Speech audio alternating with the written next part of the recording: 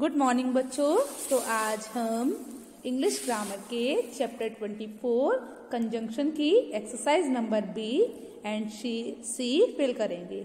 क्या करेंगे बच्चों? आज हम इंग्लिश ग्रामर के चैप्टर 24 द कंजंक्शन की एक्सरसाइज नंबर बी और सी फिल करेंगे। तो चलिए स्टार्ट करते हैं। तो देखिए, जो हमारी बी नंबर की एक्सरसाइज है, वो क्या है? Fill in the blanks with the given conjunction आपको क्या करना है? आपको यहाँ पर जो कंजंक्शन दी हैं, आपको उन कंजंक्शन से ये सारे ब्लैंक्स फिल करने हैं। ठीक है? They can be use more than once they can be use more than once मतलब आप इसको, आप एक कंजंक्शन को एक सेंटेंस से अधिक बार भी यूज़ कर सकते हो, ठीक है? आप इसको एक बार से ज़्यादा यूज़ कर सकते हो, इनमें जो भी कंजंक्शन है उनको।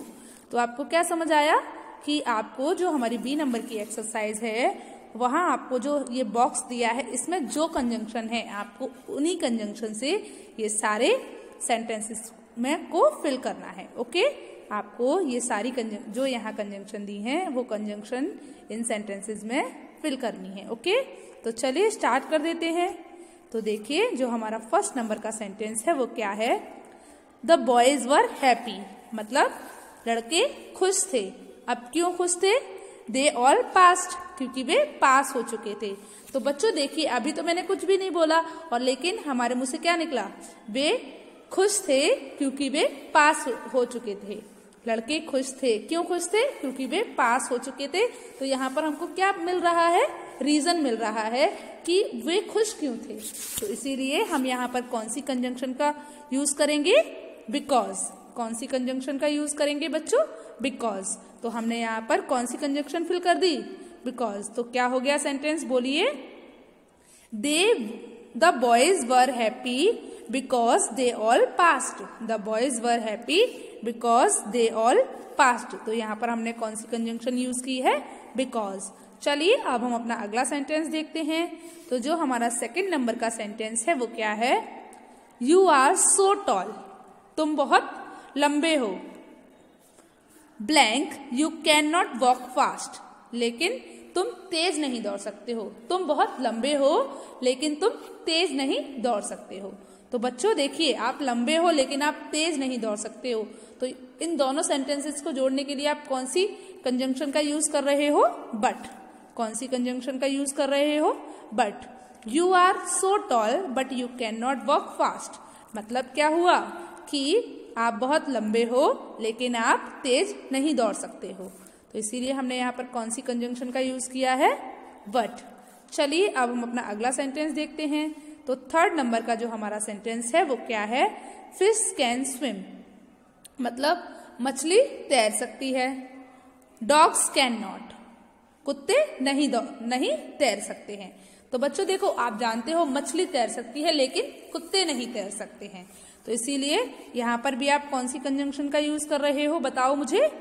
बट है ना? तो क्या हुआ? Fish can swim but dogs can not क्या हुआ?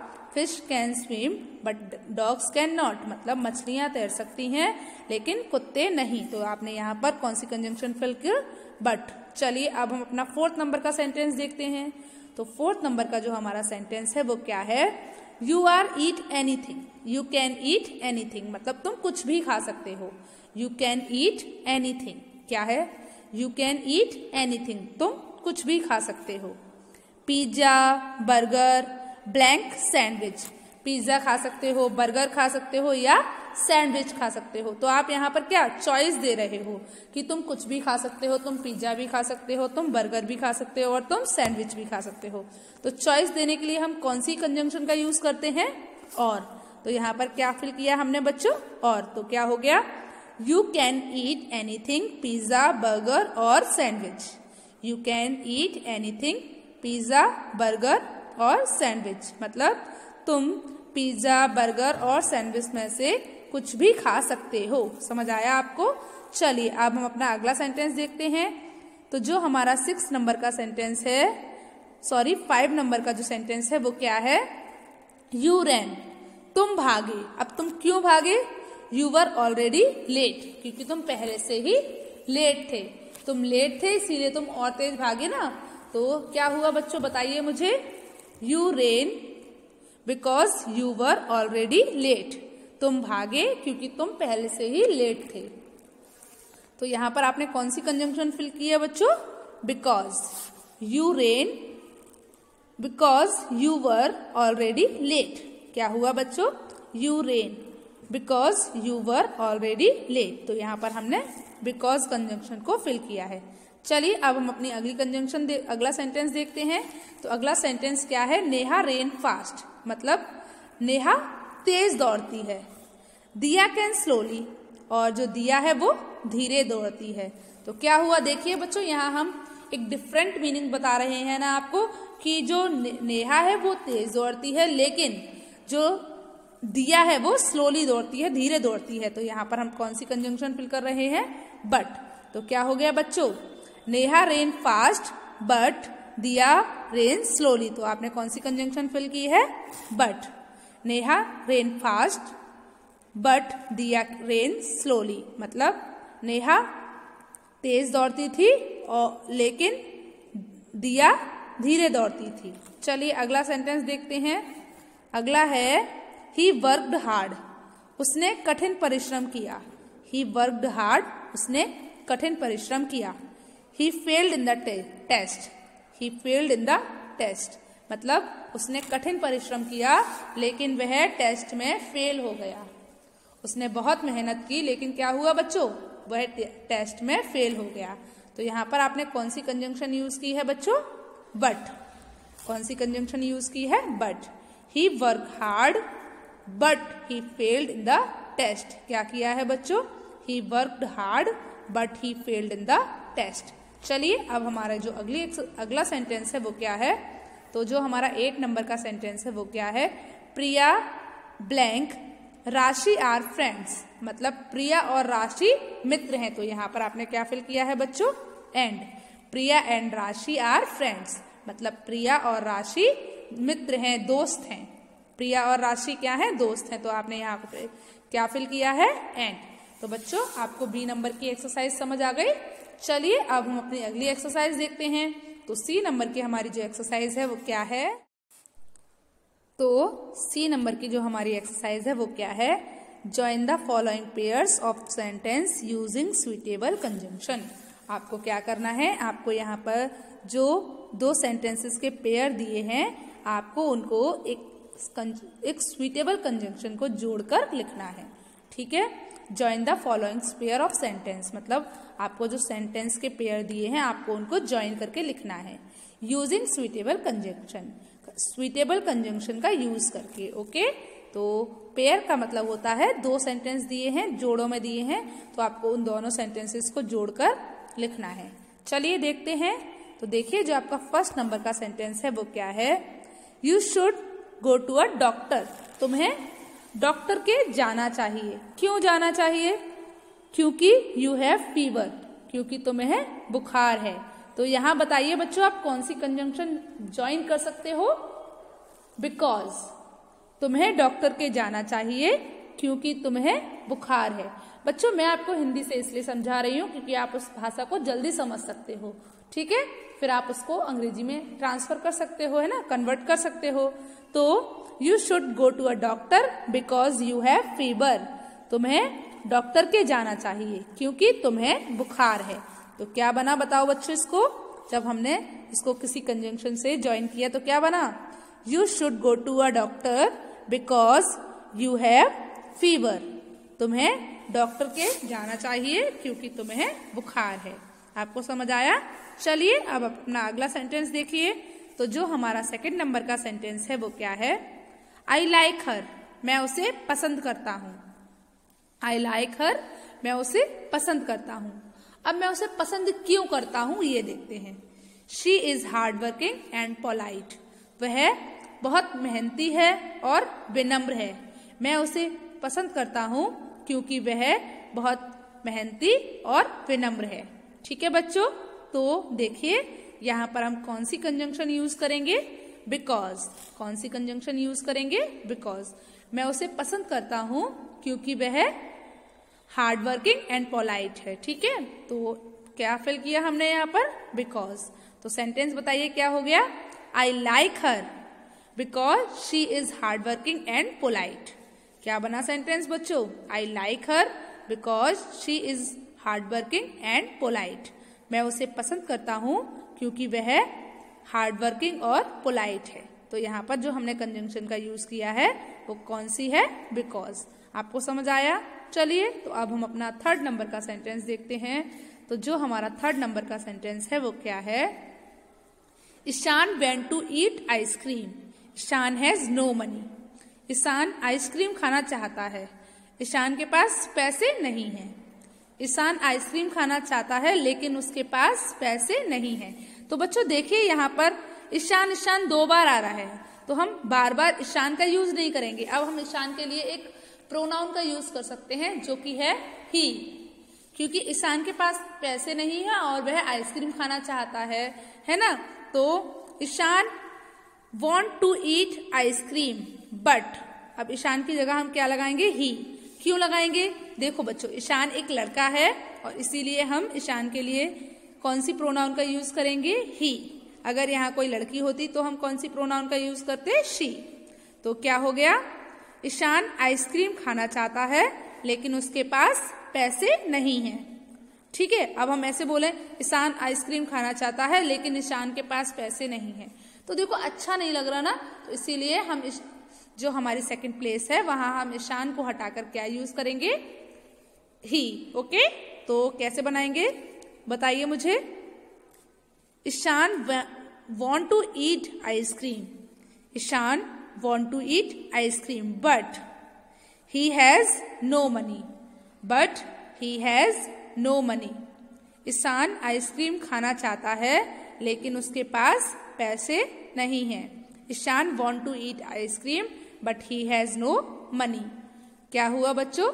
Ishaan want to eat ice cream but he has no money आपको समझ आया? चलिए तो अब हम अपना अगला सेंटेंस देखते हैं। तो जो हमारा फोर नंबर का सेंटेंस है, वो क्या है बच्चों? देखिए।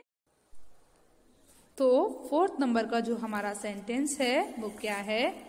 We sang an old song मतलब हम पुराने गाने गाए। हमने एक पुराना गाना गाया। We sang a melodious song मतलब हमने एक मेलोडियस सॉन्ग गाया। तो बच्चों देखिए, हम इन दोनों सेंटेंस को जोड़ने के लिए जिस कंजंक्शन का यूज़ करेंगे, वो क्या है? एंड ठीक है? तो हमने एक पुराना और एक मेलोडियस सॉन्ग गाया। मतलब हमने एक पुराना और मेलोडियस सॉन्ग गाया। चलिए तो देखते हैं इसको हम कैसे बनाएँगे। We sang an old song and melodious song we sang an old song and a melodious song मतलब हमने एक पुराना गाना और एक मेलोडियस सॉन्ग गाया। हमने एक ओल्ड सॉन्ग एंड एक एंड अ मेलोडियस सॉन्ग गाया। मतलब we sang an old song and melodious song तो बच्चों, आपको जो हमारा फोर्थ नंबर का सेंटेंस है, वो समझ आया? चलिए तो अब हम अपना अगला फिफ्थ नंबर पर जो हमारा सेंटेंस है, उसको देखते हैं। तो फिफ्थ नंबर पर जो हमारा सेंटेंस है, वो क्या है? तो फिफ्थ नंबर पर जो हमारा सेंटेंस है, वो क्या है? दिस टावर इज़ टॉल मतलब यह टावर लंबा है। I can not climb it मैं इसे नहीं चढ़ सकता। यह टावर लंबा है, इसलिए मैं इसे नहीं चढ़ सकता हूँ। तो बच्चों, कैसे बनाएँगे, बताइए? This tower is tall so I can not climb it तो यहाँ पर हमने कौन सी कंजंक्शन का यूज़ किया है? So this tower is tall so I can not climb it मतलब यह टावर लंबा है इसलिए मैं इसे नहीं चढ़ सकता हूँ। तो this tower is tall so I can not climb it तो आपको समझ आया? यहाँ पर आपने कौन सी कंजंक्शन का यूज़ किया? सो so, यह टावर लंबा है इसीलिए मैं इसे नहीं चढ़ सकता हूँ। This tower is tall so I can not climb it चलिए, अब हम अपना सिक्स नंबर का सेंटेंस देखते हैं। तो जो हमारा सिक्स नंबर का सेंटेंस है, वो क्या है? Is this question easy it is difficult यह क्वेश्चन आसान है या फिर कठिन है? तो यहाँ पर देखिए, आप कौन सी कंजंक्शन का यूज़ करेंगे? और कौन सी कंजंक्शन का यूज़ करेंगे? और कि ये क्वेश्चन जो है, वो आसान है या फिर कठिन है? तो आप कौन सी कंजंक्शन यूज़ कर रहे हैं? और। तो आप कैसे यूज़ करेंगे? आप ये इट इज़ और बार बार नहीं लगाएँगे तो आप बोलेंगे दिस क्वेश्चन इज़ इजी और डिफ़िकल्ट क्या बोलोगे आप? दिस क्वेश्चन इज़ इजी और डिफ़िकल्ट मतलब यह क्वेश्चन आसान है या कठिन? क्या यह क्वेश्चन आसान है या कठिन? Is this question is is is this question easy और डिफ़िकल्ट क्या हुआ बच्चों, बताइए आप मुझे। इज़ दिस क्वेश्चन इजी और डिफ़िकल्ट तो आपके यहाँ पर जो कंजंक्शन यूज़ हुई है वो क्या है? और ओके चलिए अब हम अपना सेवेंथ नंबर का सेंटेंस देखते हैं। तो जो हमारा सेवेंथ नंबर का सेंटेंस है वो क्या है? The principal caught them at the gate principal ने उन्हें गेट पर पकड़ा। दे केम लेट क्यों पकड़ा? क्योंकि वे लेट आए थे। तो क्या हुआ बच्चों, बताइए। The principal caught them at the gate because they came late principal ने उन्हें दरवाजे पर पकड़ा बिकॉज़ क्योंकि दे केम लेट क्योंकि वे लेट आए.